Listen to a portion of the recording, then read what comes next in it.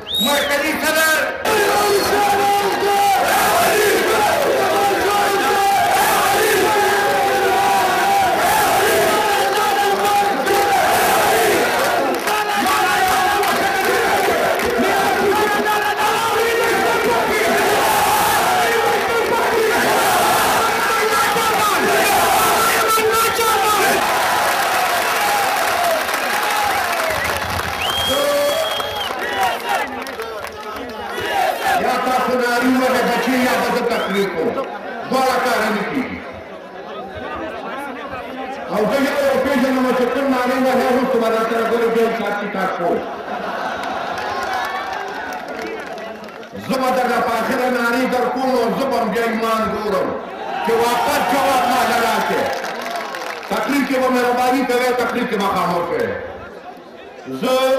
بشورو د چارسدې ضلعې د ضلعې د تنظیم نه او د تپو د تنظیمونو نه وکړم چې زما خیال دلته چې کوم پرېس والا ناست دي هغوی به هم ګواه وي او چېرته به کرام الکاتبین ناست دي هغوی به هم ګواه وي چې دونه غټه جلسه چېرته نه ده شوې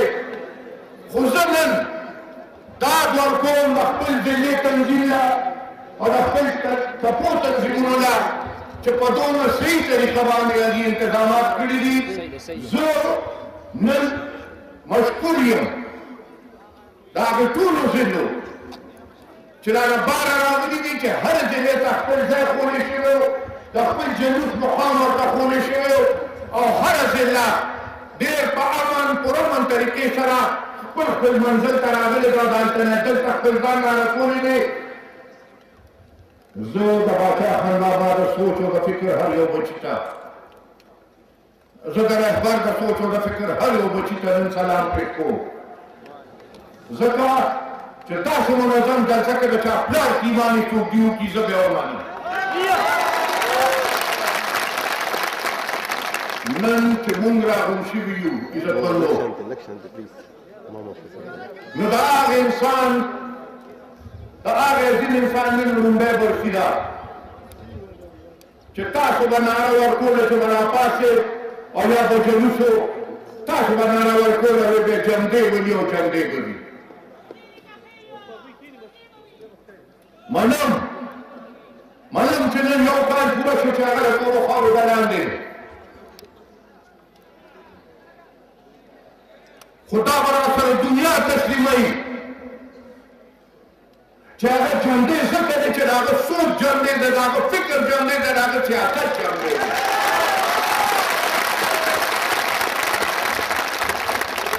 ما خو دا قسم کړی دی او نن به هر یو کس خپل ځان سره دا قسم کوی چې تر کومه ژوندي یو چې تر کومه په دې رنګونو کې ساه وي تر هغه پورې به که خیر د باچا خان بابا او د رهبر په هغه لاره روان یو د هغوی منزل او د هغوی مقصد ته به خپل ځان رسوو د هغوی ارمانونه به پوره کوو خپل ځان به قوي کوو خو د هغوی ارمانونه به ملګري نه پرېږدي ما نه پرون خیبر والو تپوس وکړو مې چې ټولو کې لوی لویه خبره تا ته د دغه دواړو مشرانو باره کې کومه ښکاري نه ما ورته ټولو کې لویه خبره په خپله تاسو پرې سوچ وکړئ چې هغه خبرې چې د نن نه پنځوس کاله او شپېته کاله مخکې دغه دوه باباګانو کولې نن ټوله دنیا کوي هغه وخت کې چا نه منل هغه وخت ورته چا هندوان وي چا ورته کافران وي چا ورته د پاکستان دشمنان وي چا ورته د روس ایجنټان وي نن په ایمان وایه دا کومې خبرې باچا خان بابا کولې او کومې خبرې رهبر کولې نن د خدای په دنیا به داسې انسان پیدا شو چې هغه د هغې خبرو سره اختلاف وکړي چې زما بابا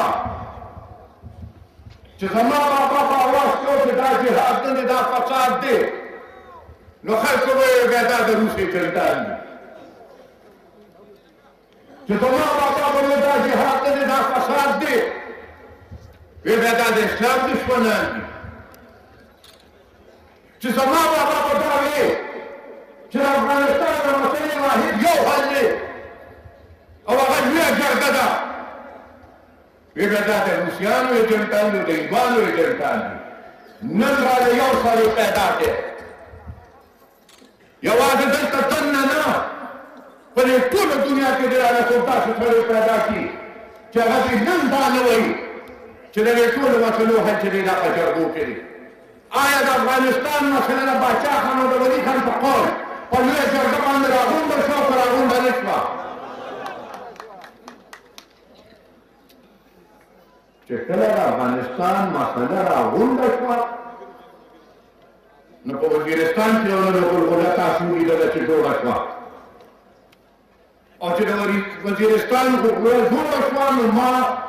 تاسو ټول ته د هر ضلع نه راغلي یې نو ګواه یې چې زه جلسو ته ووتم نو ما به درته ویلي چې وزیرستان نه پس د باجوړ نمبر دی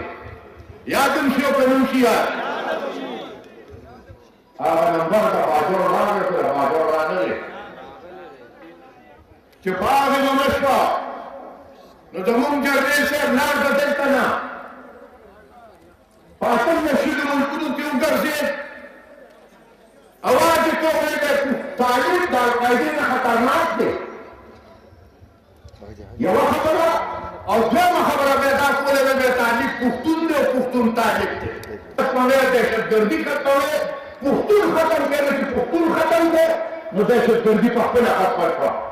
زه نن سلام پېښ کوم ستاسو نه ټولو لاره کړه شهاب الدین خان ته دا خبره چې دې ګل بازار خلکو ته رسي زه نن سلام مشکور د بازار خلکو ته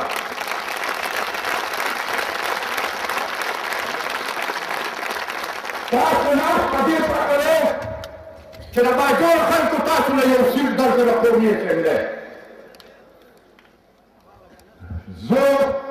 مبارکي بشک ورکوم شهاب الدین خان له چې دې په